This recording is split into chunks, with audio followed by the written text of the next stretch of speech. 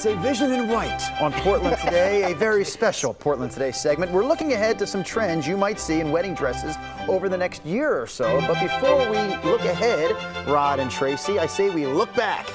Our own wedding days. Rod and I did not wear dresses. You did not. No, you No. did, and we'll get to You yours were last. robbed because that's the best part. Is it just the best part of the whole wedding? it's pretty putting great. on the dress. Yeah. Okay, all right. Rod married most recently, so let's talk about your I did. wife's wedding dress. So this was uh, three summers back. Oh, hers will not be embarrassing. I think we have a picture of my Yeah. beautiful bride, Grayson. see.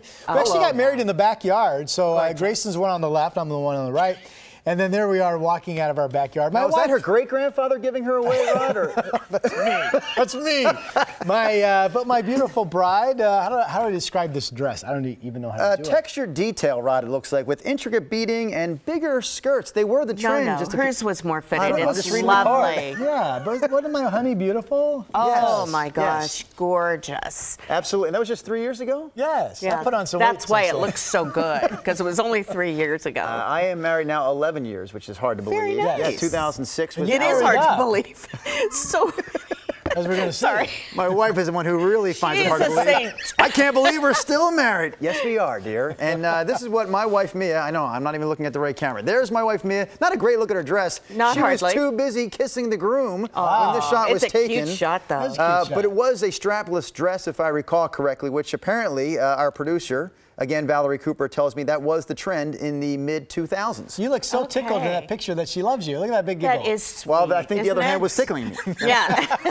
tickled because I was tickled. okay, I've been married 28 years. Oh, I want to see. I got married in 1989. It's funny because it says, yes, let's talk about Tracy in the 80s. You're like, it's almost the 90s. It was almost the 90s, 1989. and um, I see one of my trends is back though because I was married in blush, Wow. not in white. Look at you. I don't even know what Yeah. blush is. Is that a Blush. Well, I, yeah, it is. It's kind of a pinkish, creamy color. Look at those big sleeves, though. Um, I, a lovely woman by the name of Bonnie Shepard made that dress, and I drew it on a on a napkin. And she made it.